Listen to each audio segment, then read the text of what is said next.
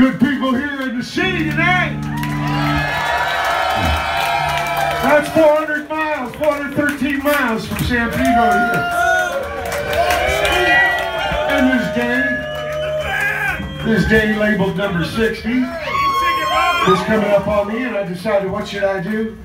I said we should drive 413 miles north and get to be in the boat together. Three of my best buddies and talk music. Get to come play here for you guys, Ramona's pad. Uh, it's, a, it's, a, it's a way to turn 60, I thought. We're going to drive 413 miles south. We're going to stay at Richard fucking Bonnie's pad. We're going to drink some whiskey right here. But I want to thank every one of you. First, my guys. But then you, also Maya and the Revolutionary Hell Yeah, letting us share the stage with them. Good people here at Bottom of the Hill, righteous people. Well, I could call up and say, hey, my PJ's on a Merklays, is that okay? Yeah. I said, bring it. There's only 52 Wednesdays a year. And you're only 60 once. You're only 59 once. You're only 61 once. It's a trippy thing. I found this thing about in Asia. They got an old tradition that 60 is actually the second wind. In the West, maybe it's more like uh, beyond, you know, the expiration date thing. But in the East, they say, no, round two, what?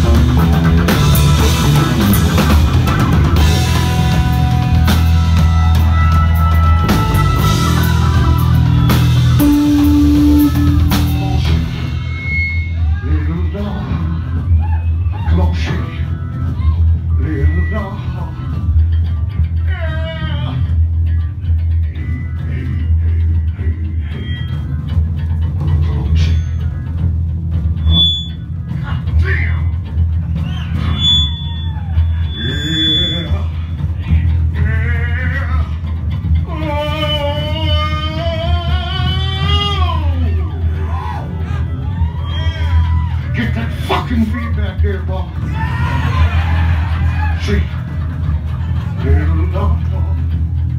Come on.